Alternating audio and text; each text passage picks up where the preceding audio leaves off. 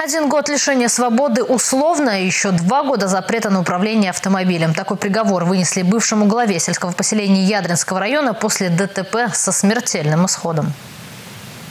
В июле прошлого года фигурант уголовного дела на иномарке при выезде со второстепенной дороги не остановился и даже не снизил скорость. В результате столкнулся с Ладой Грантой, которая двигалась по главной дороге.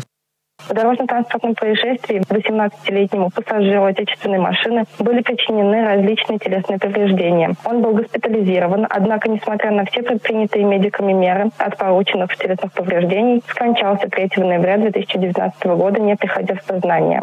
Свою вину экс-глава сельского поселения признал. Родственникам погибшего он также выплатил материальный и моральный ущерб.